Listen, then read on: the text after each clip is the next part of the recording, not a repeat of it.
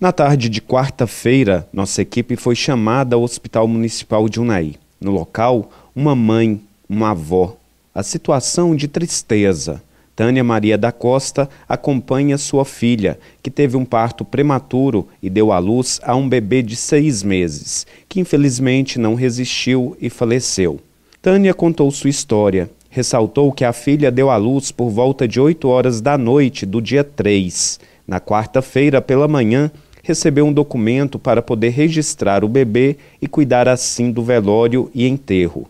Porém, a documentação que ela recebeu estava incompleta. Ela ressalta que a funcionária não havia colocado todas as informações necessárias. A Alice né, veio a óbito e no outro dia cedo, bem cedinho, a gente recebeu um papel para ir no cartório registrar. E, essa documentação ela ficou incompleta, porque a funcionária não completou, não é, colocou todas as informações que precisava.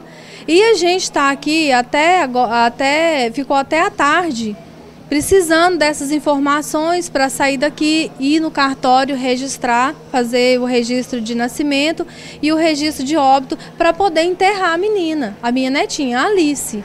De ontem de ontem, dia 3, por volta de 8 da noite até hoje, hoje quarta-feira, 3 da tarde. Isso, nós ficamos até agora precisando dessa documentação para fazer o enterro da menina, que já está preparada em Deus de cedo.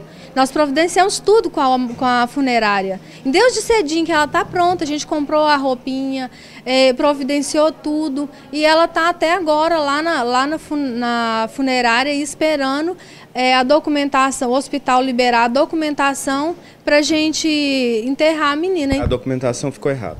Ela ficou incompleta né, a funcionária do hospital, a enfermeira que trabalhou à noite, não se dispôs a voltar aqui para completar o serviço que o hospital disse que só ela poderia fazer.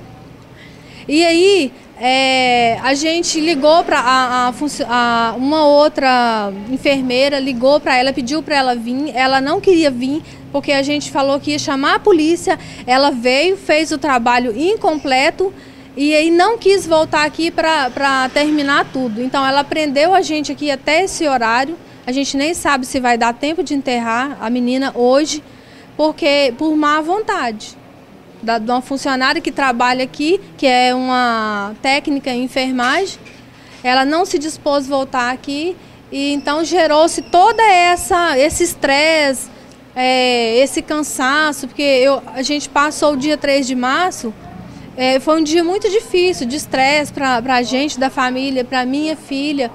E a gente chega no outro dia seguinte pensando que vai conseguir né, é, enterrar, fazer todo o processo que precisa ser feito com tranquilidade, para ir para casa, para a gente descansar, para dar aquele tempo para a gente mesmo. E, e não consegue. Eu acho uma falta de respeito muito grande. Quando Tânia entrou em contato com nossa equipe, ligamos na Secretaria Municipal de Saúde e o secretário Hernandes Menezes se prontificou de imediato a tomar uma providência.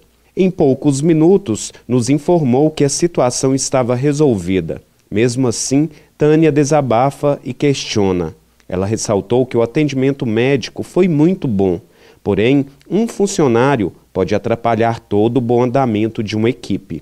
Então eu fico pensando assim, até quando que a gente vai ter que lidar com essa situação? Com esses funcionários, vou dizer bem, não são todos. Aqui nesse hospital tem ótimo, excelentes médicos.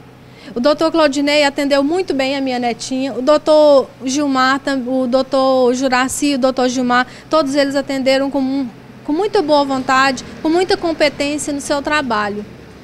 Mas assim, tem funcionários que eles não estão aqui por amor à profissão, eles estão aqui.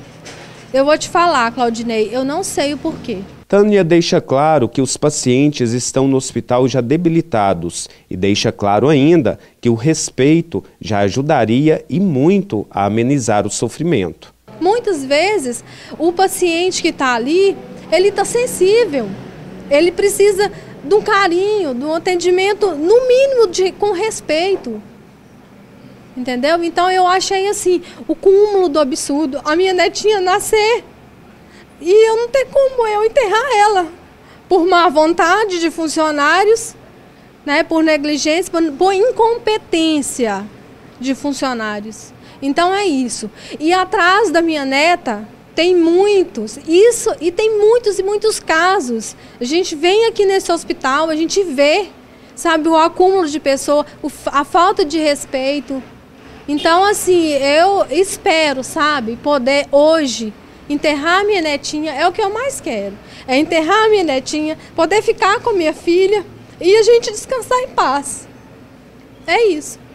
Como vimos, Tânia não coloca o problema em todo o atendimento. Um único funcionário muitas vezes pode fazer com que o sofrimento de uma família ainda se torne maior. Vimos que o secretário agiu de imediato ao saber do problema e o solucionou. Mas não seria o momento de capacitar melhor esses funcionários e cobrar um melhor atendimento, uma vez que em um hospital todos lidam com vidas e com famílias muitas vezes fragilizadas.